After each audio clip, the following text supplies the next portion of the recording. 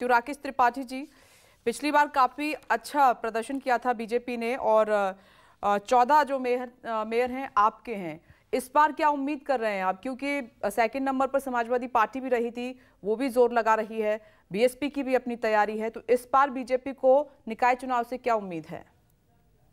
Bharatiya Janata party cadre based organisation है, जहाँ पर पंडित दीनदयाल उपाध्याय जी की अंत्योदय के सिद्धांत को मंत्र मान करके हम सरकार में जब भी आते हैं तो तंत्र में लागू करने का काम करते हैं। और आज प्रधानमंत्री नरेंद्र मोदी जी की जो गरीब कल्याण नीतियाँ हैं, जिसको उत्तर प्रदेश में विशेष तौर पर, क्योंकि आदित्यनाथ सरकार ने हर घर घर तक पहुँचाने का काम किया है, समाज के अंतिम व्यक्ति तक लाभ कैसे पहुँचे, इस मंत्र को हमने तंत्र में लागू करने का काम जब कोई चुनाव आता है तो भारतीय जनता पार्टी का जो संगठन तंत्र है ना, वो सरकार की उपलब्धियों के मंत्र को लेकर के जन जन तक पहुँचाने का काम करता है।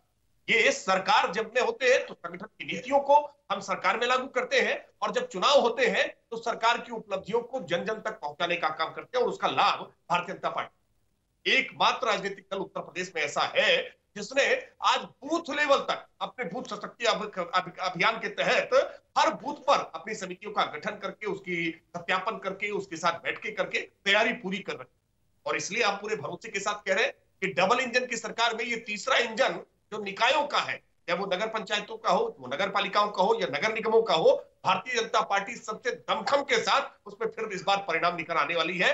जैसा परिणाम पिछली बार आया था कि 16 में से 14 नगर निगम भाजपा के पास थे। इस बार एक नगर निगम बढ़ा है। सत्रह के सत्रह नगर निगमों में भाजपा का कमल का फूल खिले, ये जनता की भी आकांक्षा है और हमारा प्रयास भी है। त्रिस्तरीय रचना हमने पहले ही कर ली है। हर निकाय के लिए हमने संयोजक हर निकाय के लिए प्रवासी कांग्रेस और समाजवादी पार्टी को सुन राकेश त्रिपाठी जी कि जो वादे आप लोगों ने किए थे वो पूरे नहीं किए हैं तो जनता इस बार वो भी देखेगी। और साथ ही ओबीसी में ओबीसी आरक्षण में इसमें बदलाव करके आपने उनको रिझाने की कोशिश की है। कह रहे हैं कि आनंद फानंद में ये सब किया गया चुनाव को देखते हुए। कि विपनेस एक प्रोपेगेंडा पॉलिटिक्स करने के का प्रयास सपा के द्वारा किया गया था। जब ऑनरेबल हाईकोर्ट का आदेश आया और ऑनरेबल हाईकोर्ट ने कहा कि आप बिना ओबीसी रिजर्वेशन के चुनाव में जाइए, लेकिन उत्तर प्रदेश की सरकार ने तुरंत ही इनकी अफवाहों का खंडन करते हुए स्पष्ट तौर पर कह दिया था कि बिना ओबीसी आरक्षण के उत्तर प्रदेश में निकाय चुनाव नहीं होंगे। यद्यपि सपा ने बहुत ज़ोर शोर से यह प्रसारित करने का प्रयास किया कि भाजपा ओबीसी विरोधी है, इसलिए वो निकाय चुनाव ओबीसी के बिना ओबीसी आरक्षण के बिना कराएगी।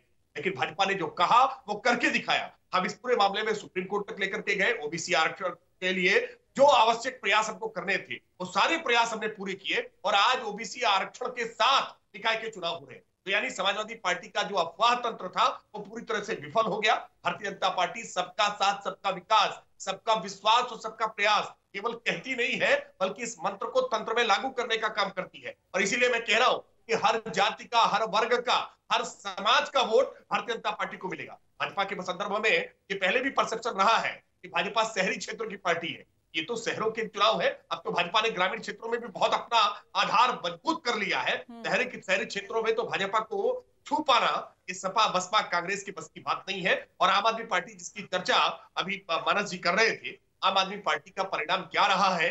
ये 2022 के विधानसभा चुनाव में देखा है कि कैसे जमानत जब्त करने का एक रिकॉर्ड क्रिएट करने का काम आम आदमी पार्टी ने किया है। आम आदमी पार्टी केवल मीडिया में सुर्खियाँ बना सकती है नए तरह के स्लोगन करके लेकिन सच्चाई ये है कि जमीनी स्तर पर ना बूथ पर नेटवर्क जिसका होगा, जिसके पास कार्यकर्ताओं का तंत्र होगा, जिसके पास नेता का नेतृत्व होगा, जिसके पास नियत ठीक होगी, जिसके पास नारी ठीक होंगे, इन सारी बातों का समुच्चय जिसके पास ठीक होगा, वही जनता में बेहतर परफॉर्म कर पाएगा। और इस लिहाज पर, इस पैरामीटर्स पर, इन मापदंडों पर केवल और केवल भारतीय जनता पार्टी सबसे आगे दिखाई पड़ती है।